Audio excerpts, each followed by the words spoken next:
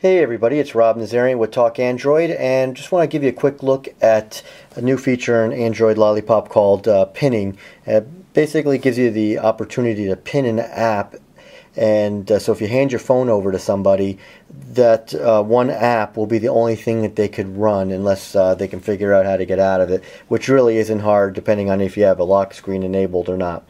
Uh, the first thing you need to do, though, in order to even do it whatsoever, is to go into the settings and make sure uh, that you have the feature turned on. And that would be down in security, which uh, there's the top. You just go down to security and go all the way down to screen pinning. And by default, it's going to be off, and it's basically going to tell you. Um, uh, when its setting is turned on, it keeps the current screen in view. Uh, and then, you know, how to, how to pin a screen, which I'm going to get into in a second anyway. Um, so basically, we're going to switch it on. And that's it. That's all you need to do. Now, to, to pin an app is actually, actually a little strange. It's kind of convoluted. You're going to have to go to your most recent uh, tab and basically you can only do it with the most current app that was open, which was settings. Uh, you'll see as you scroll up, there's a little pin icon there. So if you want to pin something else, you have to first open it and then come back to here. So let's just say, for example, I want to do Chrome. And uh, so I'm going to have to open Chrome first. I can't pin it yet, but then when I come over here to recents, it's now in the front, and now I can pin it. So you can see I'll go ahead and pin it and now it says use screen screen pinning you know I'm going to accept or not.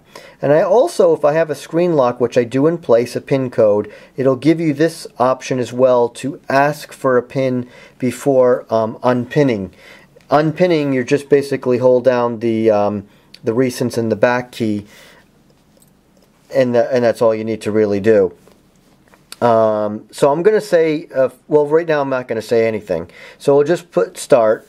And so it says screen pinned.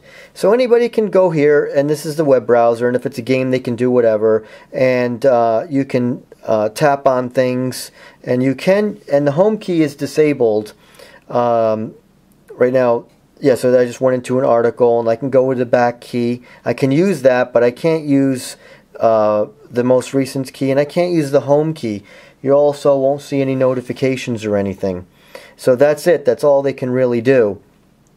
If the display turns off, it'll come right back to it. Uh, I'll have a lock screen enabled, but it didn't show there, and the reason why is because that's all they can get to anyway. So obviously, I feel confident and safe that whatever I gave them is okay for them to use. So it's not a big deal that the lock screen didn't come on there. So in order to get out of it, you basically hit the two keys together and you're out. It's as simple as that. Now, if I, what I'll do is I'm going to repin it now and show it to you with the security lock. So go ahead, repin it, and go ahead and check and uh, go ahead and uh, hit start. It's now pinned. So the person can do whatever. These things are gone. It tells the person right here what to do to get out. If it's uh, an adult, they can figure out if you don't have an, uh, a pin code or any swipe or any, I mean um, a pattern, they can get it into whatever they need to get into. So it's not the most secure. But if you have a secure lock screen and you've enabled that, then obviously they can't get anywhere.